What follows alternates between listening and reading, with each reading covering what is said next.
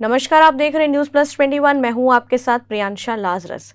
छत्तीसगढ़ में मानसून आ चुका है। बावजूद इसके बारिश का नामो निशान बहुत कम है।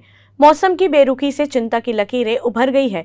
दो हफ़्ते बाद भी प्रदेश में अच्छी बारिश नहीं हो रही है। अब तक कई जिलों में अच्छी बारिश नहीं हुई है और बारिश न होने के वजह से उमस भी बढ़ गई है। जी हाँ, आपको बताते रायपुर का तापमान भी बढ़ गया है। अगर बारिश ऐसे ही अपनी बेरुखी दिखाएगी तो किसानों को भारी नुकसान उठाना पड़ेगा। चिंता का विषय यही है कि अब ये जून अब समाप्ति की ओर है और उसके बाद भी पर्याप्त बारिश नहीं हुई है, जिसे किसी कार्य प्रारंभ हो सके, कहीं कहीं शुरू हुआ है, कहीं नहीं हुआ है, और ये जो मौसम की बेरुखी है, वो हम सबके लिए चिंता का विषय है।